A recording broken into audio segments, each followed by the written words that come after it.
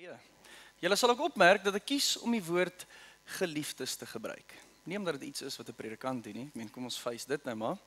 Maar omdat dit jou identiteit is hierso nou vir oggend. En ek het nodig om jou daaraan te herinner. Dink vir 'n oomblik daaroor, vriende. So deur die loop van 'n week vervul ons 'n klomp rolle, nê? Nee, ons is 'n klomp funksies. Dit mag wees dat jy hierdie week 'n pa en 'n manager en 'n pel en 'n broer is. Dit mag wees dat jy hierdie week 'n ma en 'n tuiste skepper en 'n suster en 'n admin assistent is. Hier vir oggend nou is jy 'n geliefde. Want ons is God se kinders en daarom het ons die titel geliefdes.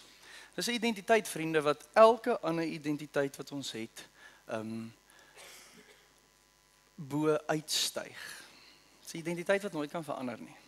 Dis nie wonderlik om dit vanoggend te weet nie dat ongeag van wat ook al jy die laaste 6 dae beleef het in jou lewe vandat ons mekaar laas gesien het, kan daai identiteit van jou as God se geliefde nie verander nie. En daarom groet ek jou volgende met daai woorde. Ek hoop volgende is vir jou 'n goeie oggend.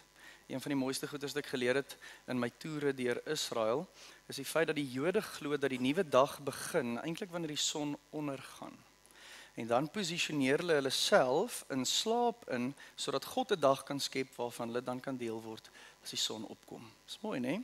Ons dink as westerse mense ons dag begin wanneer ons wakker word. Die Jode bely en sê, mm, "Nee, as ons wakker word, werk God al lankal. Hy het so deur die aand gewerk en hy het hierdie dag geskep." So die belangrikste vraag wat ek vandag vir myself moet vra is, hoe val ek in by God se werk?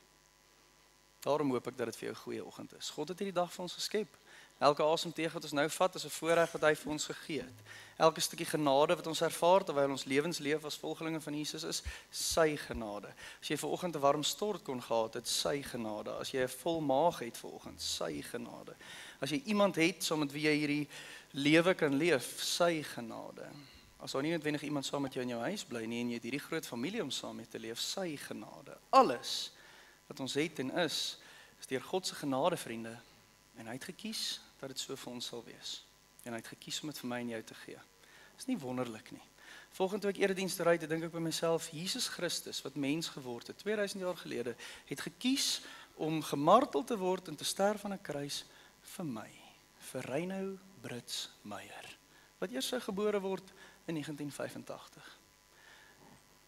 En soos ek groot geword het, het mense vir my vertel dat daai Here aan die kruis hang vir my. En dat sy hande oop is omdat hy vir my baie lief is en dat hy met my 'n verhouding wil wees. En so is die waarheid ook vir elkeen van julle. Daarom het ons soveel rede om volgende Here te loof. Ons het soveel rede om onsself te posisioneer in aanbidding, nê, nee, voor hom. Ons het soveel rede om ons hande oop te maak en te sê Here, wat ook al dit is wat ons moet ontvang volgende, laat ons dit dan ontvang. Ons het soveel rede om ons hande oop te maak en te sê Here, alles wat ons het, gee ons vir U en ons plaas dit in U hande vir U koninkryk.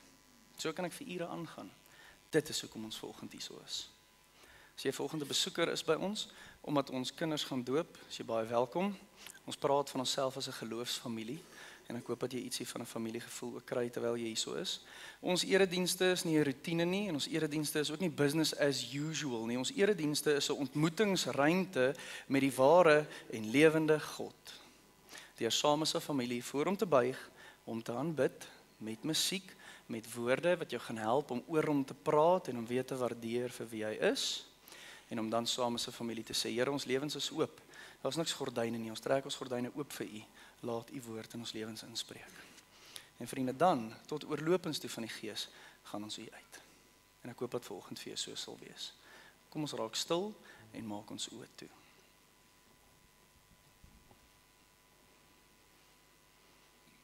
Here God, ons ons koppe kan nie ver oggend begryp hoe U so groot en universeel is en tog so persoonlik is dat U elke haar op ons koppe ken nie. Dit maak ons baie dankbaar en nederig om net vir 'n oomblik te dink hoe lief U ons het. Ons het 'n behoefte om met U te connect, soos wat 'n klein kind na sy of haar pa of ma of primêre versorger soek. Ons wil deur die vasgehou word. Ons wil die hartklop hoor. Ons wil ervaar hoe U ons koester en versorg. Ons te behoefte Here Jesus om te swem in die liefde soos wat ons swem in die golwe van die see. En ek wil bid dat alles wat ons vanoggend saam doen presies dit vir ons sal wees. Soos ons sing, mag ons U liefde ervaar. Soos ons die doop weer sien as simbool, mag die Heilige Gees die betekenis daarvan ook vir ons oopbreek.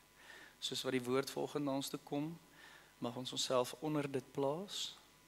Daarin glo dat dit gesagvolle woorde is en ons lewens dien ooreenkomstig verander ook. Wat ook al dit is wat elkeen van ons nodig het vir oggend, Here Jesus, ons plaas dit nou voor U en ons gaan in 'n tyd van aanbidding in en ons vertrou U dat U elkeen van ons hier sal ontmoet vanoggend. Amen. Vriende, kom ons staan as 'n familie saam en ons loof die Here.